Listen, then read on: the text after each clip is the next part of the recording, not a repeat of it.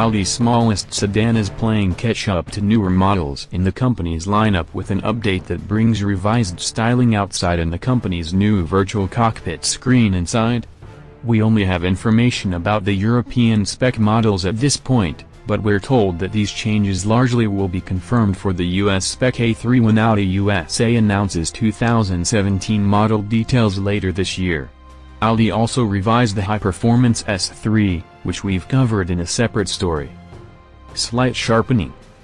The most noticeable visual change is up front, where the new A3 gets a reshaped single-frame grille that matches the form of the slightly larger and freshly redesigned A4's mug.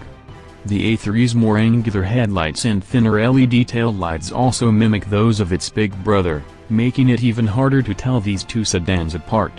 Still, both look sharp, and A3 buyers surely won't mind when onlookers mistake their car for a more expensive Audi. Price $32,150. Speaking of those headlights, Audi now offers its Matrix LED lighting system on the European A3, although this system is illegal in the U.S. for now.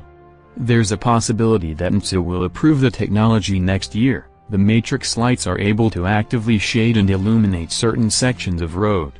If these lights do get the, er, green light, expect to see them offered here first on cars like the next-gen A8 and the R8 before making their way to the A3, though, in the interest of maximum marketing impact.